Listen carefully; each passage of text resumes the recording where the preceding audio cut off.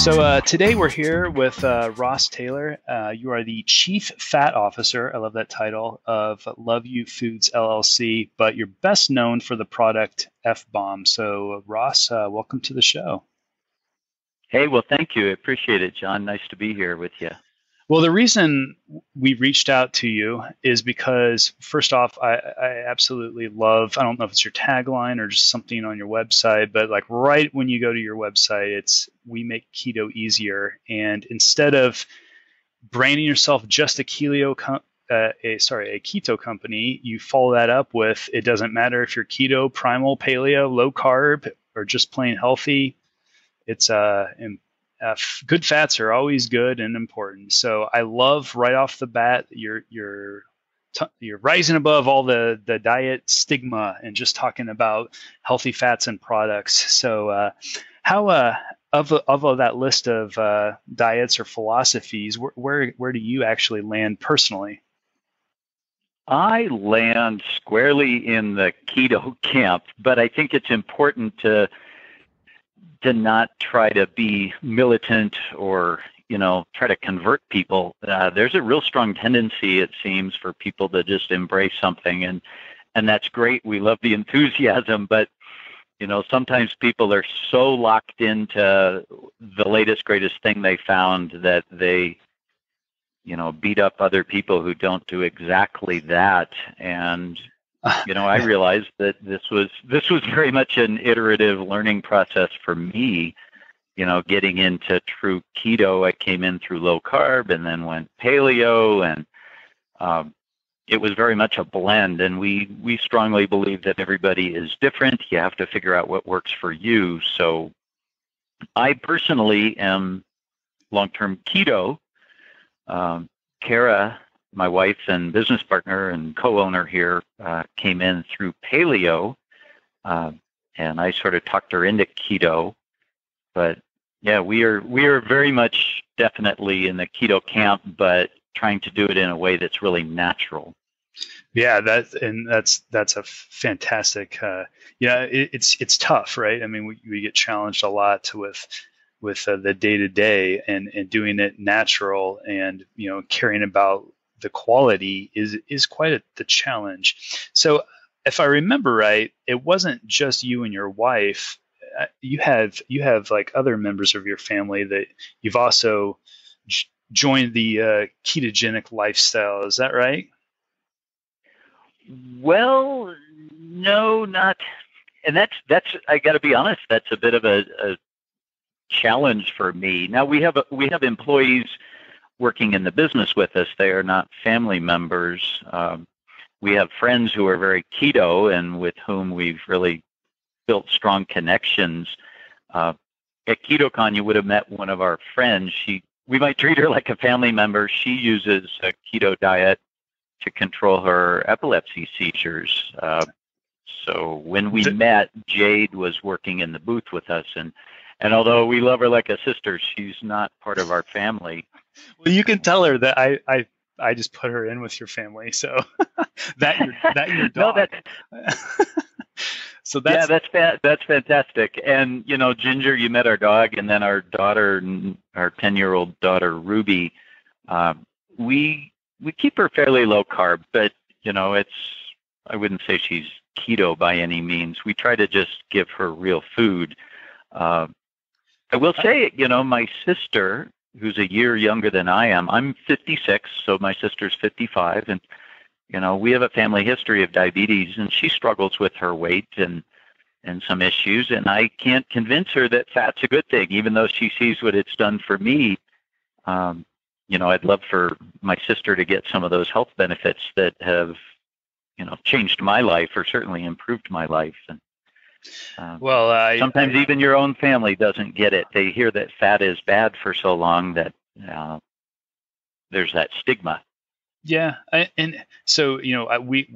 It's funny. I could every situation that you just said right there, I could pick up and put it in my life. So uh, we've we've got yeah, my my wife's uh, my wife's father. I'd love he's he battles that. I'd love to get him on there, but you know, if you think about it, if somebody's spent that long of their life being told something and then it's it's going to take a while to turn that ship ship. So so about how long then total have you been keto?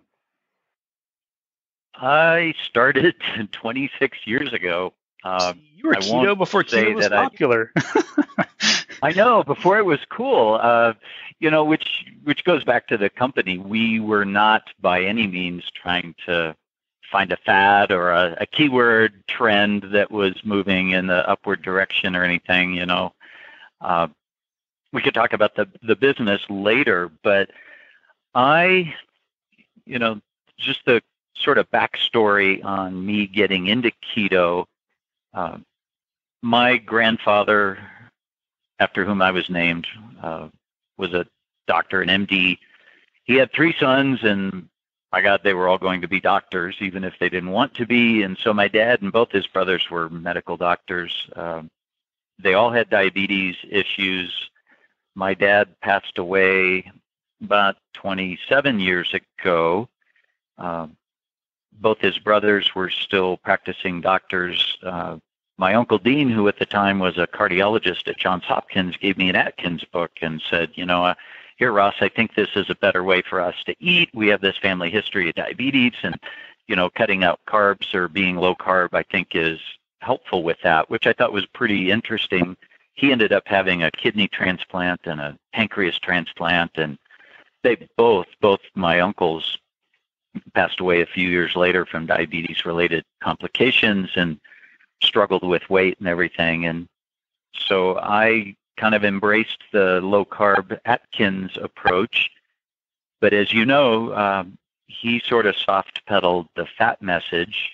You know, fat was so taboo back then, even it was worse than now. And so I was, I was for really 20 years, I was doing it wrong. I was eating too much protein. It was hard for me to stay keto because with the protein, I was still getting too many carbs and I'd get cravings and I'd slip out of low carb keto and just be kind of low carb. And I still think it was helpful. I'm 56 and I, you know, I'm 5'10, weigh 165, and I'm pretty consistent there. And I haven't had any of the issues that run in my family. But it wasn't until about five or six years ago when I really started to moderate the protein and went high fat that it became easy.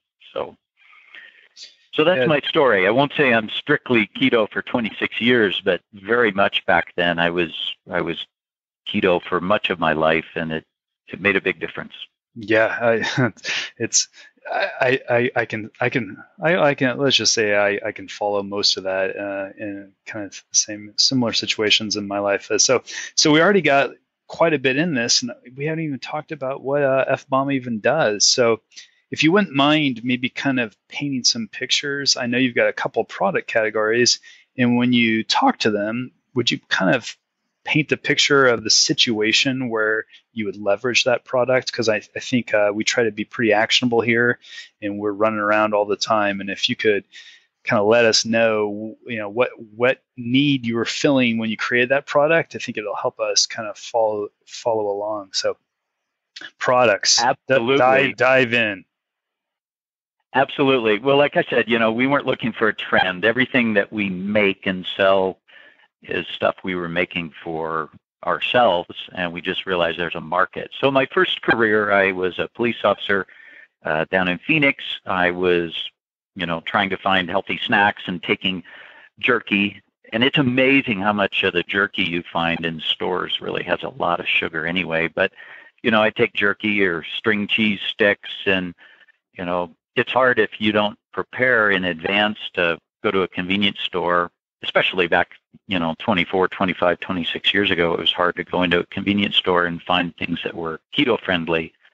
Sometimes you get a hard boiled egg or a stick of cheese, uh, maybe the hot dog with no bun, and that's always questionable meat anyway. So, you know, and then the last 12 years or so, I'd worked for wind turbine companies traveling around the world and again trying to find enough fat to take with me was difficult. So my wife and I started packing oils into little baggies and they would leak and we'd put them in an Nalgene bottle just to keep them from exploding in our luggage. And so we ended up launching with three different oils initially and they were you know, coconut oil, uh, a blend. We call it the house blend now. We actually just described it by its contents initially, which was macadamia nut oil, coconut oil, and Brazil nut oil.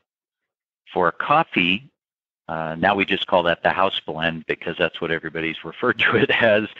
Uh, we have other oils. So we have three basic oils you would put in coffee or a hot beverage. Um, Tim Ferriss, of course, is big into promoting coconut oil in coffee, as are other people. Uh, and then the bulletproof coffee, you know, with MCT oil and things, we we're packing our own versions of that. So we have an MCT oil to put in coffee or any drink.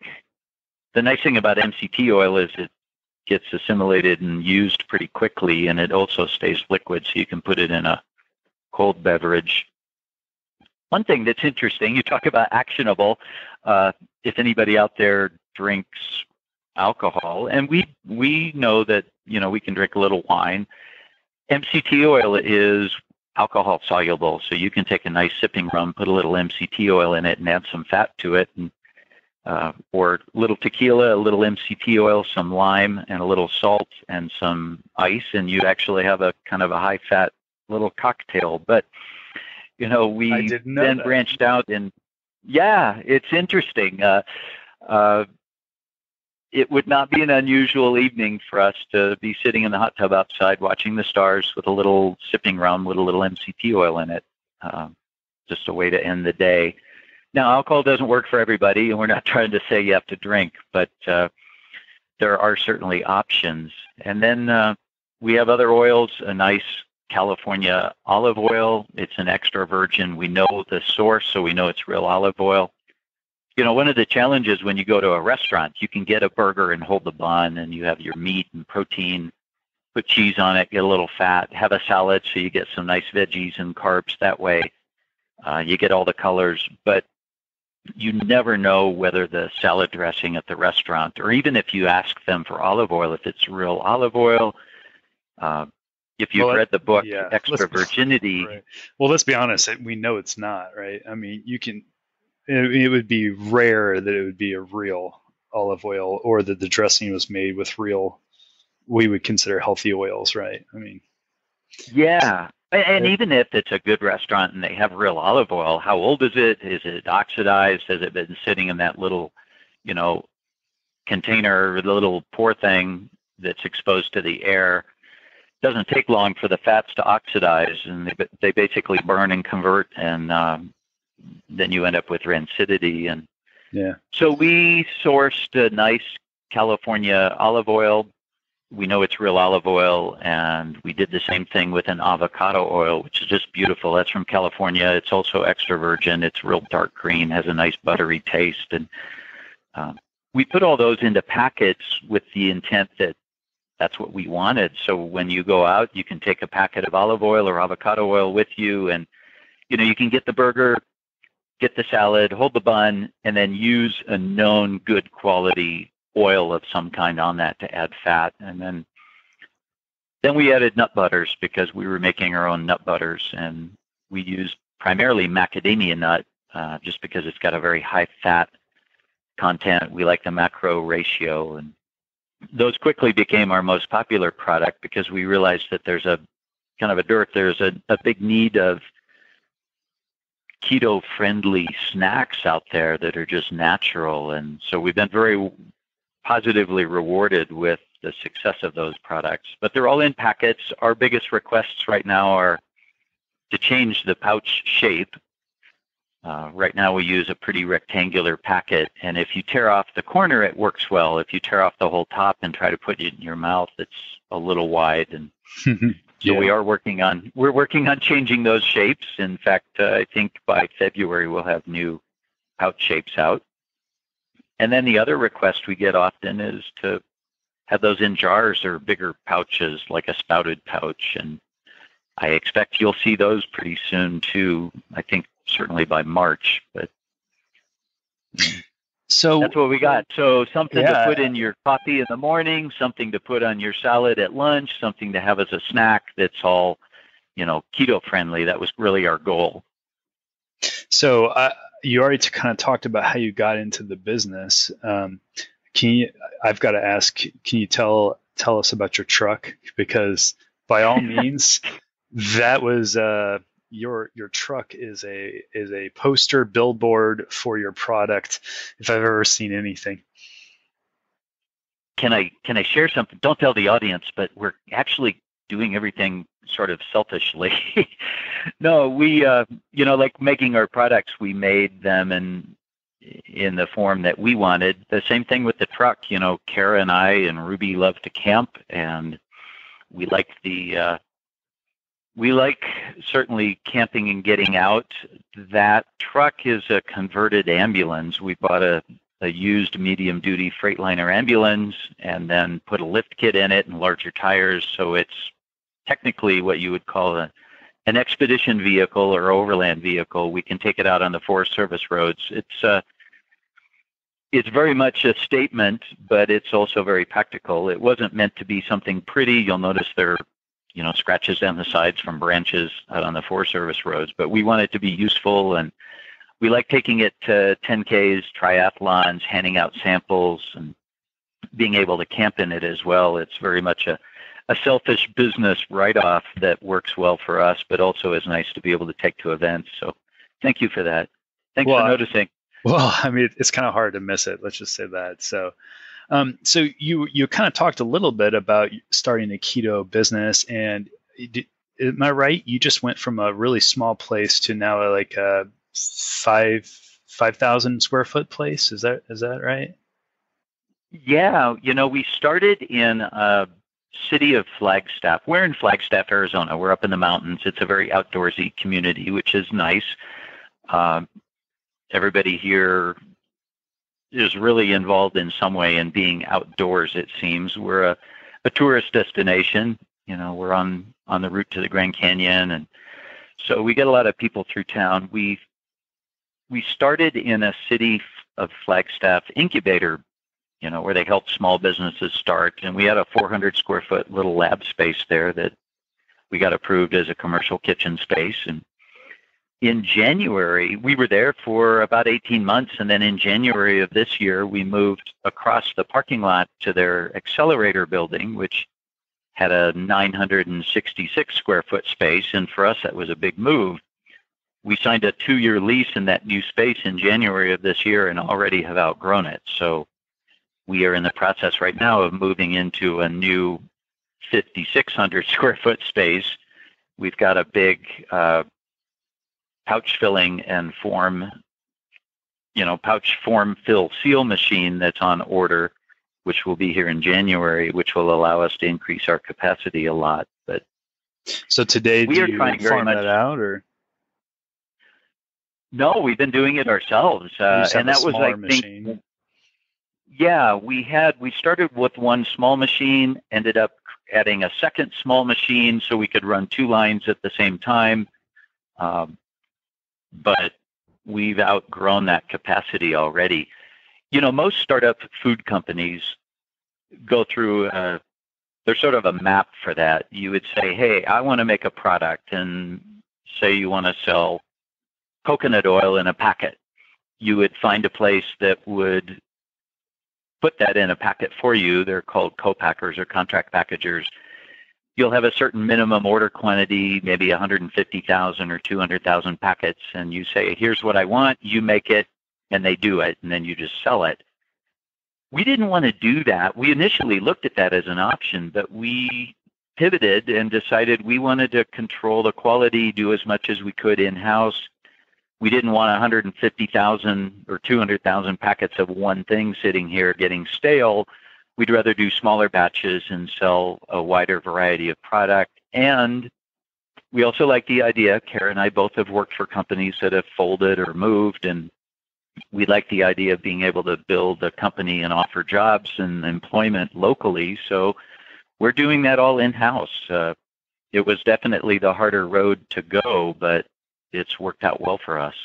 Would it be a trade secret if I asked you how you found the sweet spot for how big to make your batches?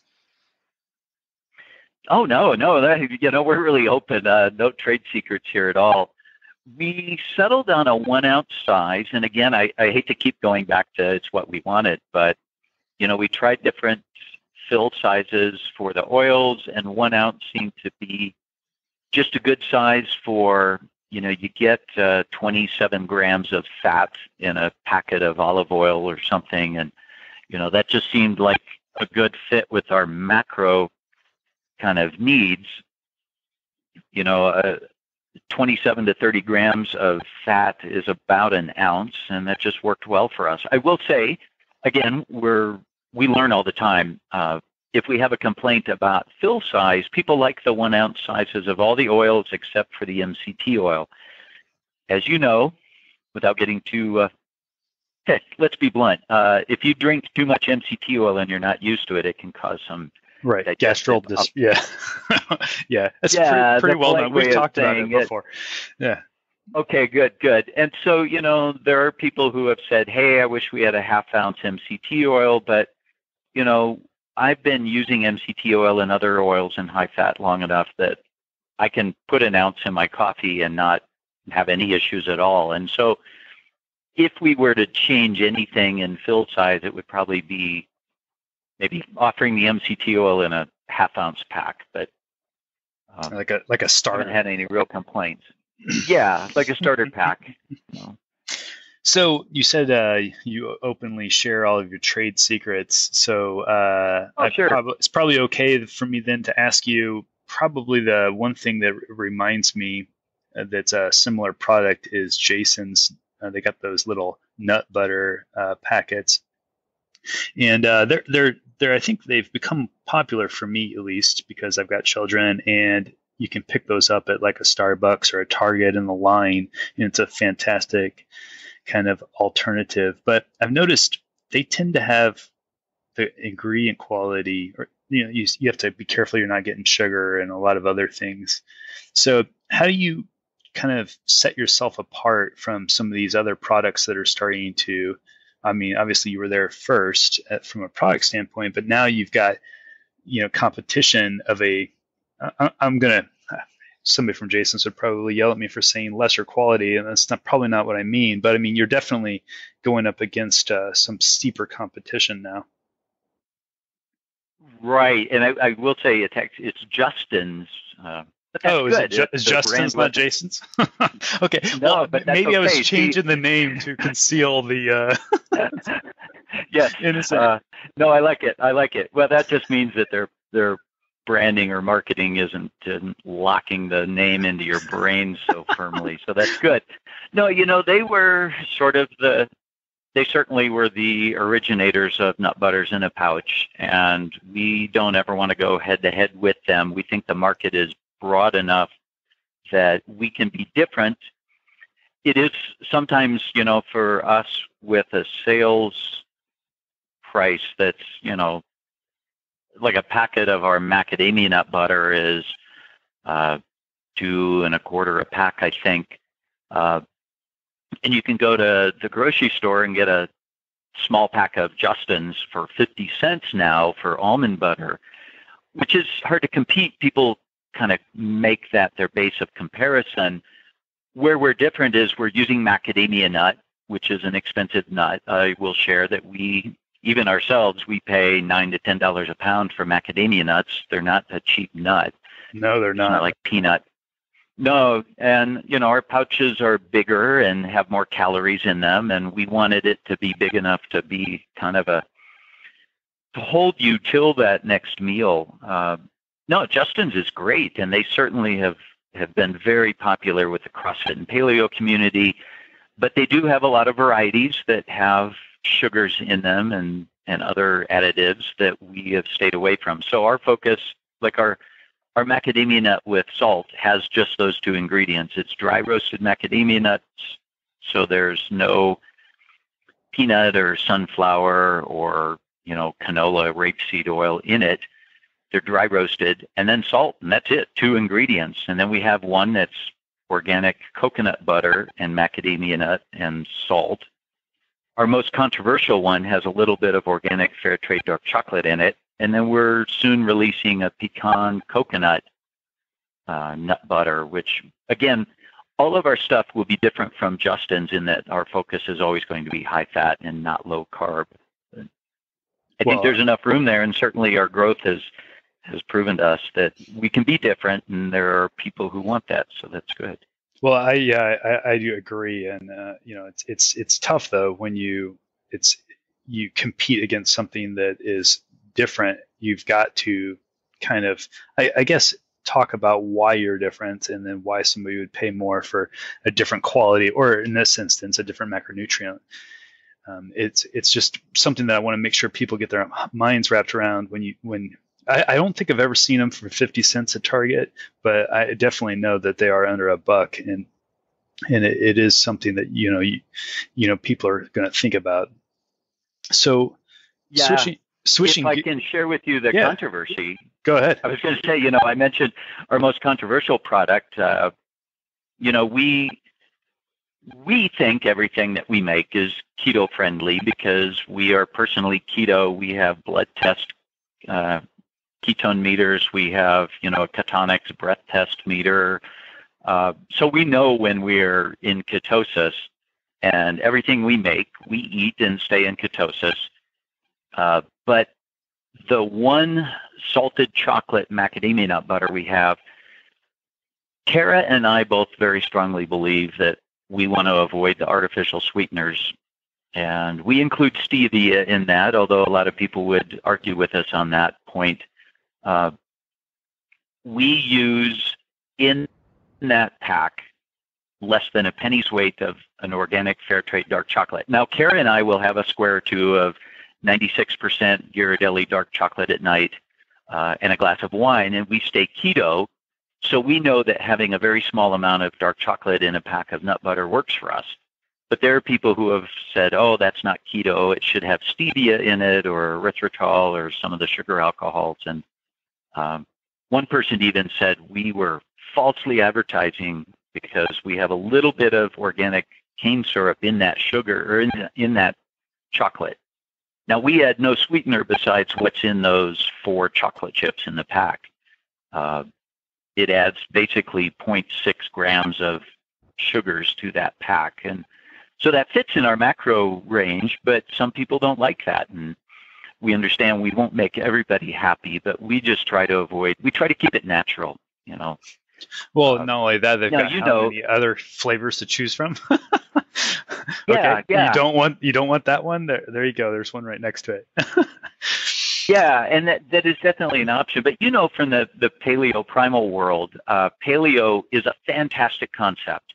You know, eat real food. How can you get, how could you argue against that? But since then, they've come out with all these, you know, paleo junk food. It's paleo versions. Yeah. If if they're really paleo, I think they're stretching a lot of that. But paleo versions of every junk food thing that people are already addicted to paleo brownies, paleo donuts. Uh, the same th- things happened with keto. You know, there are keto junk foods where it's sweetened with, you know, tons of erythritol, and in theory, you can subtract that and come up with a net carb that's really low. But we're trying to stay away from those keto junk food copies of other things and just stay natural. And so, you know, we we figure uh, that salted chocolate one is our most popular product, so a lot of people understand that. But every now and then, someone will will say that we're being deceptive because we don't have artificial sweeteners in there, and I think there's a good argument for staying away from those. Yeah, well, hey, at least you you know it, and you you air it out. I mean, it's a it's a business decision, and, the, and if you don't like the product, then pick up the pick up the you know the a different flavor. So I appreciate you uh, yeah. kind of coming. I mean, because it's it, it is personal, right? I mean, so you know, I'll disclose. You know, I'll do that ninety percent even chocolate so and have a square and still be fine. So i think you got like you mentioned earlier you got to find out what works for you. So but um i was i don't know where i was heading when i said i was going to switch gears because now i don't remember what gear i was switching to. But uh but but uh, kind of kind of circling back uh, to your products, uh, when you were talking about the oils, uh, one of the uh, I don't know if you'd call that the fat ups or are those. Have you ever um, adding adding that to a salad or putting that on your your greens? I, I think is a, a fantastic concept that I've been trying to do myself, and I think you undersold it when we were talking about the uh, different situations. So going going out back to your your kind of uh, setting the stage of getting a, a burger without a bun and all that, getting the getting the salad and staying addressing, uh, you know, is is definitely something that's it's so easy to add that that oil of your choice to those grains to, to make them that much better.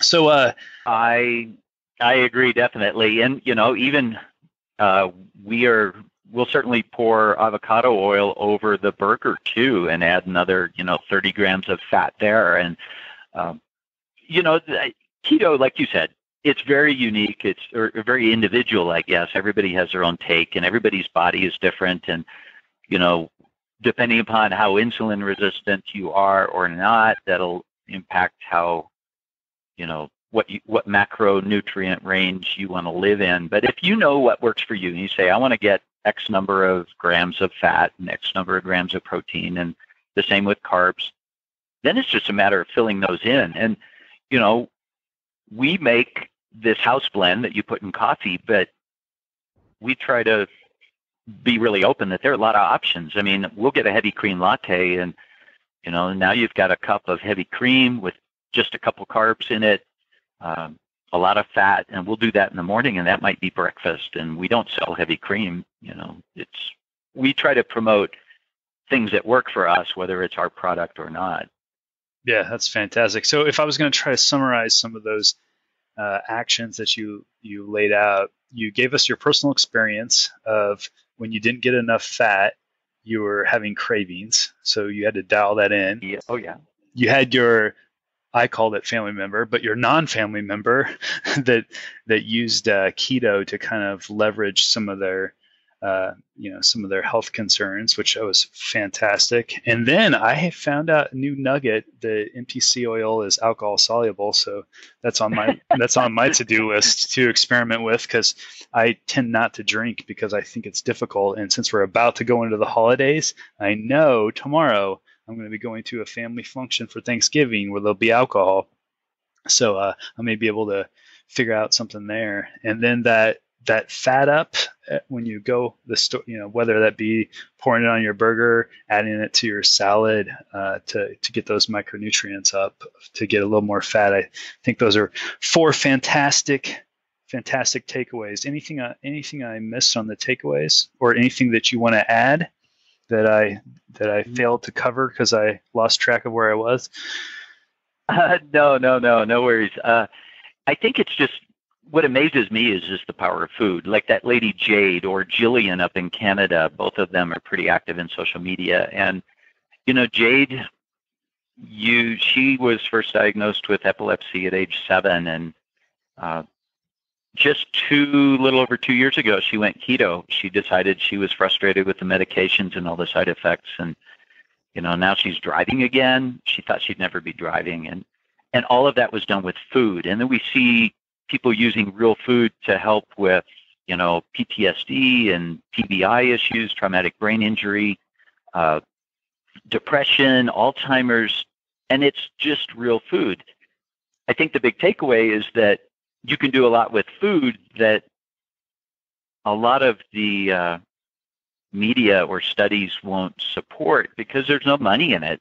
You know, and yeah, I mean, we would love for you to buy an F-bomb pack and have a, a packet of our product every day in some way, but you can go to the store and just get real food, and that's all we sell is real food, and and do everything you want just with natural stuff, which to me is amazing. I mean, I think that is just the most fascinating part of diet and lifestyle and the power of food. Yeah, it's it's you don't have a, a, lot of medical groups putting a lot of money behind a whole food diet for for studies, which is so that's a, that's a balance that we're always going to think uh, at least currently in the med- in the medical com- community are going to be challenging. So. Um, so your website is dropanfbomb.com, so it's fantastic to remember. And I, I know because I was out there I've been out there many a times. So you've got other stories. Um, is it uh, is is uh, she listed on your? Uh, it's not about us, but uh, people people who use or friends. I think you maybe have it under the friends section. Yeah, we've got uh, friends. We've got a group of people who have, you know, provided some nice kind of little self stories, backstories. They range from ultra runners, people doing endurance uh, activities, endurance athletes uh, who have found that cutting out the carbs and converting to a fat burning body helps them with just these amazing feats of endurance that I could never do, you know, running 50 or 100 miles. And then we have Jade and uh, others who use, you know, keto lifestyle, not just our products, but the lifestyle itself uh, for therapeutic or medical reasons. We have parents who you know, send F bomb packs to school with their kids, which always kind of cracks us up. But they're looking for something, even if their child isn't keto, they're just looking for something natural and low in sugar and, you know, preservative, additive free. And um, yeah, we do have some of those on our, our friends page. Uh, Eva, Eva Rupert, she was on several of the Discovery Channel Naked and Afraid series, and she's a big fan of our stuff. And you know, she's been out in the wilderness like with no food, and she definitely knows the power of fat and being fat adapted. And um, yeah, they're all listed in our friends section with their pictures and some interesting stories. So that's that's fantastic. So on the web page, I, I just glanced at it right now. So the sections are why fat, and you can follow that down. And it's got your, your story, and then links to your friends, and then resources, and it even has uh, references to books. So quite a bit of information out there besides your products. So uh, I guess uh, if there's um, anything, if, uh, if I didn't miss anything, that I'd like to just appreciate you spending your time telling us your story. I think that's what helps all of us here in our personal experiences. I think that's what helps us all improve and find our health journey. So, uh, again, thanks for t- giving us the time. Well, thank you. You know, I uh, once you figure out what what's, what works for you and your way of life, it's just a matter of trying to make it easy. And you know, don't spend 20 years like I did figuring out I was eating too much protein. But uh, uh, once I figured out what worked for me, and it just became simple. And I, I feel very fortunate that at 56, I've, you know, got my health and I feel quite young. And I think I attribute that to, to the food. Well, there's a lot of Thank people. Thank you for your time and your message. Yeah, there's a lot of people that are jealous of that statement right there. Let's just we'll we'll end with that. Um, if you click over in the show notes, um, I'll have uh, those key action takeaways, uh, links to all the social medias, and any information about F bombs. So definitely try to uh, support the movement if you can. So tune in. Uh, I don't I don't actually know uh, what we got coming up next, but definitely we're going to do some. Uh, I believe that we're going to keep with the the the uh, the meals and the simple meals. So I think next week is more on the simple meal. So stay tuned.